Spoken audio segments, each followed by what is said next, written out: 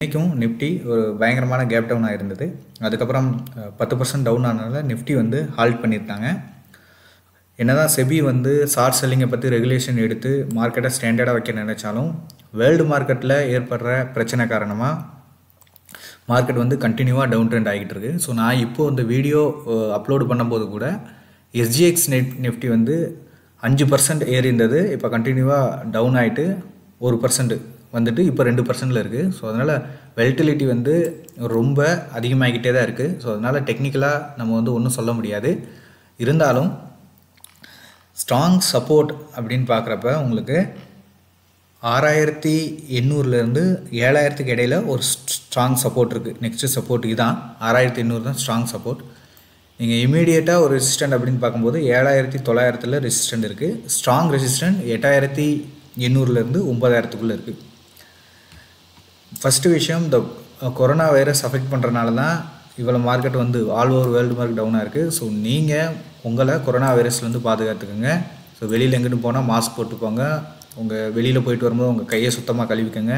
உங்கள் வீட்டில் இருக்கிற யங்ஸ்டர்ஸ் பெரியவங்களுக்கு கொரோனா வைரஸை பற்றி ஒரு விழிப்புணர்வு வந்து சொல்லுங்கள் வந்து இந்த மார்க்கெட் சரிவை ஒரு நல்ல ஆப்பர்ச்சுனிட்டியாக பயன்படுத்திக்கிட்டு நம்ம மியூச்சுவல் ஃபண்டில் இன்வெஸ்ட் பண்ணணும். ஸோ அப்படி ஒரு ஃபண்டு தான் நான் வந்து இப்போ வந்து சொல்ல போகிறேன் ஸோ இந்த ஃபண்டு வந்து நான் அனலைஸ் பண்ணது ப்ளஸ் என்னோட ஃபைனான்சியல் அட்வைசர் வந்து எனக்கு வந்து சஜஸ்ட் பண்ணது. ஸோ நீங்களும் உங்களுக்கும் இந்த ஃபண்டு வந்து கரெக்டாக இருக்குன்ற பட்சத்தில் உங்கள் ஃபைனான்சியல் அட்வைஸரை சஜஷன் எடுத்துகிட்டு இந்த ஃபண்டில் வந்து நீங்கள் இன்வெஸ்ட் பண்ணலாம்.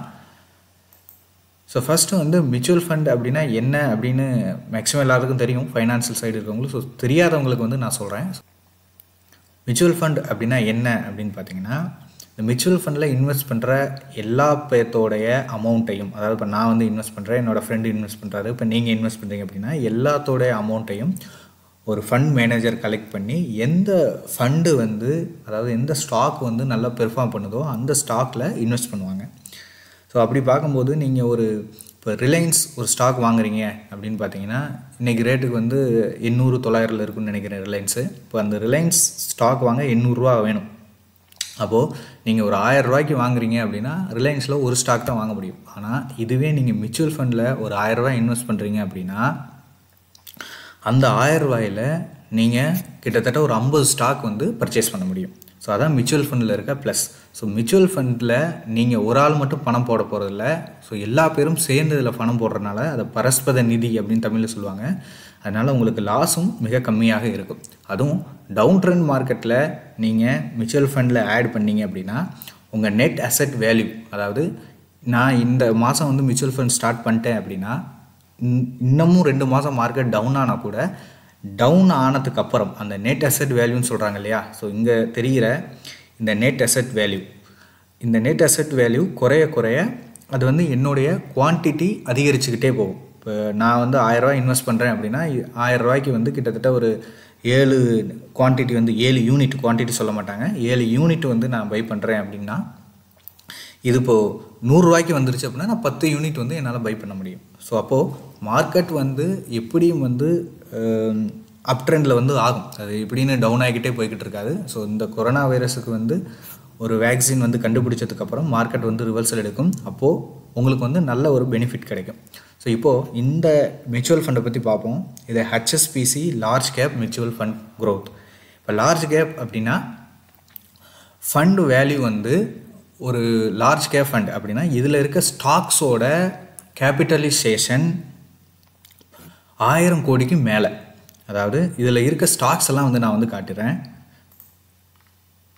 இதில் இருக்க நீங்கள் ஸ்டாக்ஸ் வந்து இப்போ இந்த ஃபண்டில் வந்து நம்ம இன்வெஸ்ட் பண்ணும்போது நம்ம அமௌண்ட்டு வந்து நான் முன்னாடியே சொன்னேன் இல்லையா? ஒரு ரிலையன்ஸில் வந்து நம்ம இன்வெஸ்ட் பண்ணணும் அப்படின்னு பார்த்து இன்வெஸ்ட் பண்ணணும் அப்படின்னா அந்த ரிலையன்ஸோட வேல்யூவில் நம்ம ஒரு ஸ்டாக்கோ ரெண்டு ஸ்டாக்கோ தான் ஆயிரம் ரூபாய்க்கு வந்து வாங்க முடியும். ஆனால் இப்போ நீங்கள் மியூச்சுவல் ஃபண்டில் ஒரு ஆயிரம் ரூபாய்க்கு ஸ்டார்ட் பண்ணிங்கன்னா இந்த லிஸ்ட்டில் இருக்க எல்லா ஸ்டாக்லையும் நீங்கள் இன்வெஸ்ட் பண்ணுற மாதிரி வரும். இதில் இருக்க எல்லாமே லார்ஜ் கேப் ஸ்டாக்ஸ் ஸோ எல்லாமே பிராண்டட் எல்லா பேருமே இந்த ஸ்டாக்ஸை பற்றி நம்ம வந்து கேள்விப்பட்டிருப்போம். ஸோ இத்தனை ஸ்டாக்ஸில் வந்து நம்ம இன்வெஸ்ட் பண்ணும்போது இதில் வந்து சில ஸ்டாக்ஸ் வந்து பெர்ஃபார்ம் பண்ணலைனாலும் மேக்ஸிமம் ஸ்டாக்ஸ் வந்து பெர்ஃபார்ம் பண்ணிடும் மார்க்கெட் கரெக்ஷன் ஆனதுக்கப்புறம். ஸோ அதனால் உங்களுக்கு ஒரு த்ரீ டு ஃபைவ் இயர்ஸில் ஒரு நல்ல கெயின் கிடைக்க சான்சஸ் வந்து அதிகமாக இருக்குது ஸோ இதோட நெட் அசெட் இதோட நெட் அசெட் வேல்யூ என்ன அப்படின்னு பார்த்தீங்கன்னா ஃபிஃப்டி டூ வீக் ஹையில் இரநூத்தி முப்பது ரூபா வரைக்கும் போயிட்டு இப்போ நூற்றி அறுபது ரூபா லோ ஸோ இப்போது நூற்றி அறுபத்தி எட்டு ரூபாயில் இருக்குது இந்த நெட் அசெட் வேல்யூ மியூச்சுவல் ஃபண்டை பொறுத்த வரைக்கும் பாஸ்ட் பெர்ஃபார்மன்ஸை வந்து நம்ம பார்க்கணும். பட் பாஸ்ட் பெர்ஃபார்மன்ஸையே பார்த்துட்டு நம்ம வந்து ஒன்றும் இன்வெஸ்ட் பண்ண முடியாது. இப்போது ரேங்க் மியூச்சுவல் ஃபண்ட் இது வந்து சாம்கோ செக்யூரிட்டிஸோட அஃபிஷியல் சைட்டு இந்த சைட்டில் பார்த்தீங்க அப்படின்னா இந்த கேட்டகரி வந்து ஹண்ட்ரட் வந்து கொடுத்துருக்காங்க. அதாவது ரேங்க்கில் இது ஹண்ட்ரட் ஸோ இதுக்கு முன்னாடி நைன்ட்டி மியூச்சுவல் ஃபண்ட்ஸ் இருக்குது ஸோ அதுலேயும் வந்து நம்ம இன்வெஸ்ட் பண்ணலாம். நான் இல்லைன்னு சொல்ல பட் இருந்தால் கூட இதில் லார்ஜ் கேப் ஃபண்ட்ஸ் வந்து அதிகமாக இருக்கனால இதுக்கு மு இதோட பெர்ஃபார்மன்ஸ் பார்த்தீங்கன்னா ஹண்ட்ரடில் தான் இருக்குது இதுக்கும் கீழே வந்து இன்னும் ந- நல்ல மியூச்சுவல் ஃபண்ட்லாம் இருக்குது இருந்தால் கூட லார்ஜ் கேப் ஃபண்ட்ஸ் வந்து அதிகமாக இருக்கனால இப்போ மார்க்கெட் வீழ்ச்சியில் லார்ஜ் கேப் ஃபண்ட்ஸ் வந்து அதிகமாக வந்து கீழே விழுந்திருக்கு.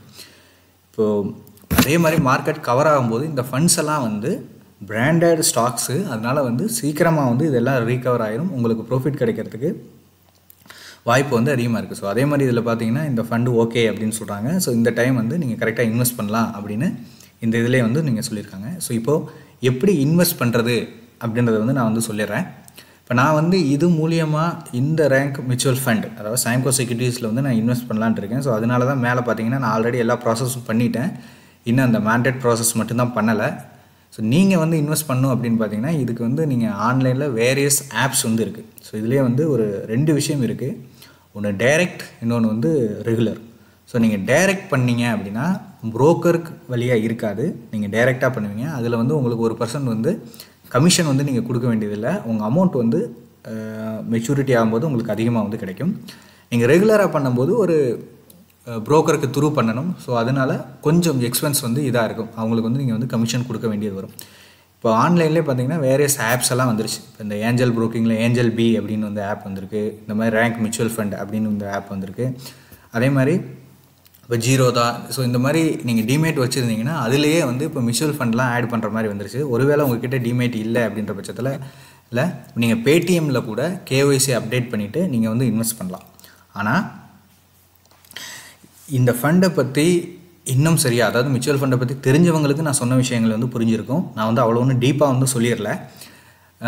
ஒருவேளை இந்த ஃபண்டை பற்றி உங்களுக்கு தெரியல அப்படின்னா நீங்கள் இதை பற்றி ஸ்டடி பண்ணிவிட்டு உங்கள் ஃபைனான்சியல் அட்வைசர் ஃப்ரெண்ட்ஸ் உங்கள்கிட்ட எல்லாம் நல்லா விசாரிச்சுட்டு இந்த ஃபண்டில் இன்வெஸ்ட் பண்ணலாமா அப்படின்றத யோசிங்க. ஒருவேளை உங்களுக்கு இந்த ஃபண்டு வந்து சூட்டபுளாக இல்லை அப்படின்னா நீங்கள் வேறு ஃபண்டில் கூட இன்வெஸ்ட் பண்ணலாம். ஆனால் கண்டிப்பாக இந்த மார்க்கெட் சர்வே பயன்படுத்தி நீங்கள் கண்டிப்பாக இன்வெஸ்ட் பண்ணீங்க அப்படின்னா உங்களுக்கு ஃப்யூச்சரில் நல்ல கெயின் கிடைக்கும். எப்பயுமே மார்க்கெட்டில் பத்து சதவீதம் பேர் தான் ப்ரொஃபிட் பண்ணுறாங்க அப்படின்னு நம்ம பார்த்துருக்கோம். பத்து சதவீதம் பேர் ஏன் ப்ரொஃபிட் பண்ணுறாங்கன்னா மற்ற எல்லா பேரும் பயப்படும் போது அவங்க இன்வெஸ்ட் பண்ணுவாங்க. மற்ற எல்லா பேரும் அக்ரெசிவாக இருக்கும்போது அவங்க அக்ரெசிவாக இருக்க மாட்டாங்க ரிலாக்ஸாக இருப்பாங்க. மற்றவங்க ரிலாக்ஸாக இருக்கும்போது இவங்க அக்ரெசிவாக இருப்பாங்க. ஸோ அதனால தான் இந்த பத்து பர்சன்ட் பேர் வந்து ப்ரொஃபிட் பண்ணுறாங்க ஸோ நீங்கள் இதை வந்து ஒரு நல்ல வைப்பாக பயன்படுத்திட்டு மியூச்சுவல் ஃபண்டில் இன்வெஸ்ட் பண்ணோம் அப்படின்றத நான் சொல்கிறேன் ஸோ இந்த வீடியோ உங்களுக்கு பிடிச்சிருந்தது அப்படின்னா மறக்காமல் லைக் பண்ணுங்கள் ஷேர் பண்ணுங்கள் சப்ஸ்கிரைப் பண்ணுங்கள்